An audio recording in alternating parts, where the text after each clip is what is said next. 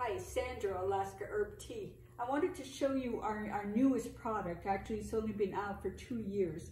Um, it's our new uh, collector tin of teas. Um, it's basically our old sourdough, our old sampler teas.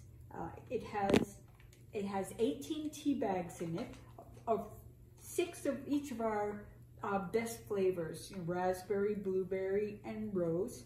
So six of each, and they come in a little package, individually wrapped in here, um, like that. So that's that. But it's in a, a, beautiful tin, and it has, you know, our forget-me-nots on, on, on the side. And in the back, it has you know, basically pictures of us harvesting in the beautiful wild rose here. Um, just a beautiful tin that will, you know, be, be be beautiful 50 years from now. Just a really nice tin. A very high-end product. Um, your cost is $10 each. If you buy 10, they're $9.75 each. But um, very nice. Your customers will like it. Beautiful high-end product.